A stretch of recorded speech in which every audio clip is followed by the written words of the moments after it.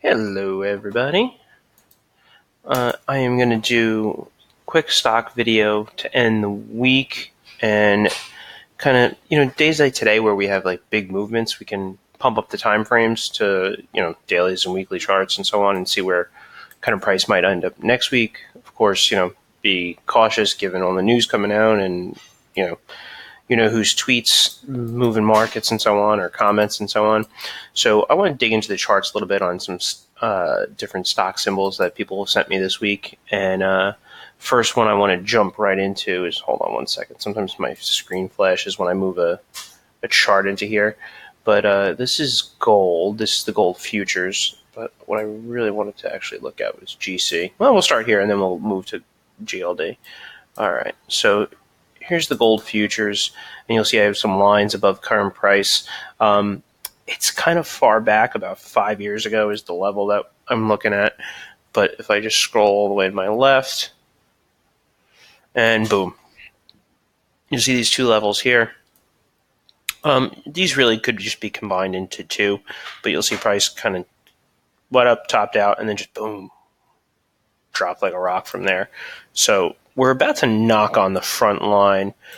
Well, not quite yet, but I wouldn't be shocked if we get some more bad news next week.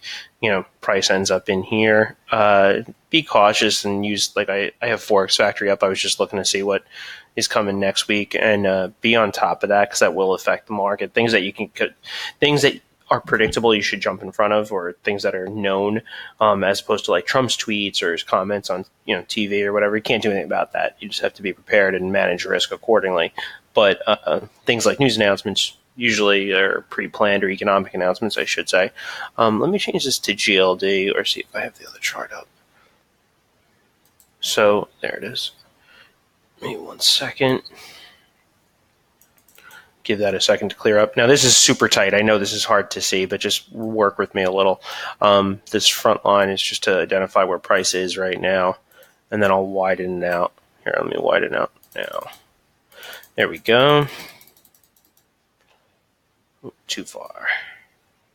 All right, so here's today's current bar. You'll see that big explosive move on the retaliatory tariffs by China.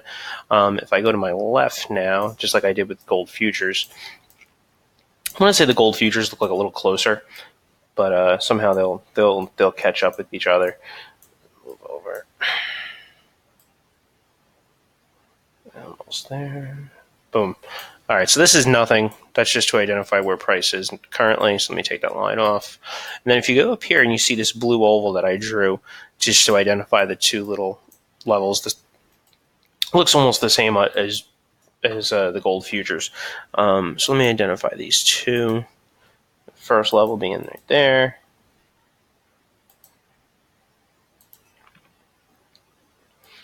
That one right there.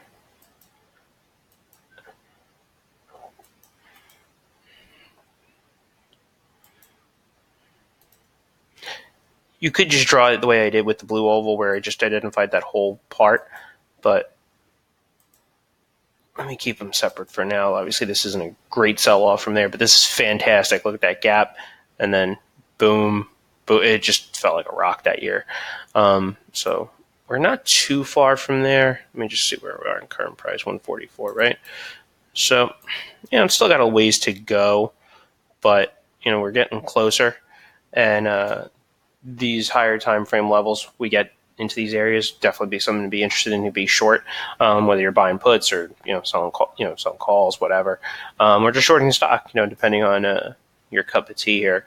This is some really nice action in GLD and the gold futures, but since I want to focus on the uh, equity symbols, uh, the next one someone sent me was Facebook.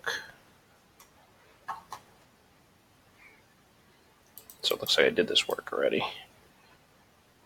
Oh, okay. So I have an area of interest here. It's kind of in there now. Um, I don't love this. That's why I labeled it an area of interest and not like a specific setup. Um, so I'm going to take it off because I'm not. I wouldn't put money behind it. I'm not going to tell anybody else to do it.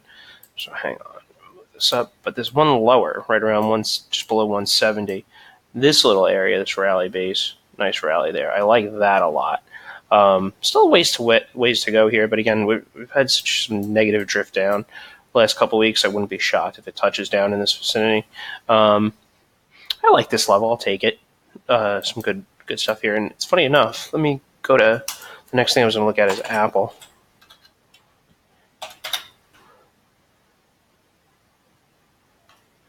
And some levels I identified a few days ago getting a little closer. This in here is no longer something that was a, a level that you could have uh, went long on last week. You'll see what price kind of dropped from in there, hit a level in here that was on a 195. And let me clean this up a little because this needs some work. A little ways to go to get into there, but that's a possible entry point for something right around 185. Tighten that up. So with nothing on to hold it up, uh, you know, I wouldn't be shocked if this selling continues down into this area. Again, keep an eye on news, um, or excuse me, announcements, and then just make sure you're managing risk accordingly. I pay Robo. I can't do all these you guys sent me, so hold on one second. I pay Robo. I don't even know what Robo is.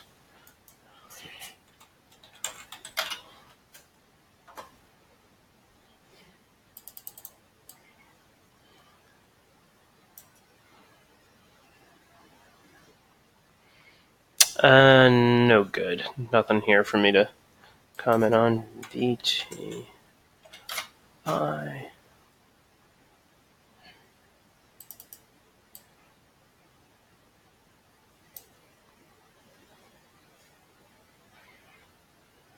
No, I mean this is just nothing here either. I'll look the SPY definitely. I'm going to look at some SPY.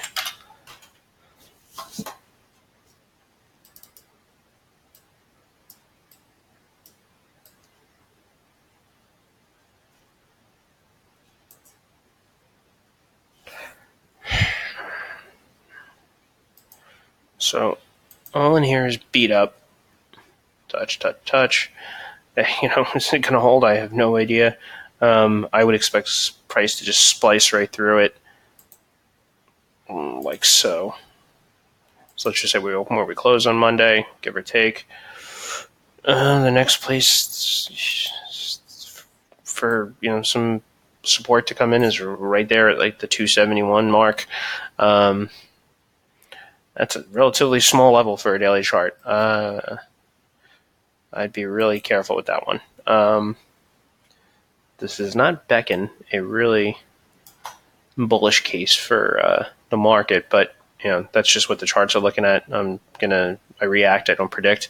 So keep an eye on these levels. What did we look at here? Let me get the list. We looked at Apple, Facebook, GLD, and I used the gold futures con- contract uh, to start us off too, just because you know, obviously it's going to look just like GLD, but that's some good trades in there. Um, SPY doesn't have anything significant, but this is also telling you something about market conditions. Uh, the Apple and Facebook levels look really good, and GLD, which just got to, it's being patient for all both of those. Um, if I find anything else in the meantime, I will send it over to you, but uh, wanted to share the kind of market outlook equities uh, as we close out the week. And then I will uh, talk to everybody soon. Have a good weekend.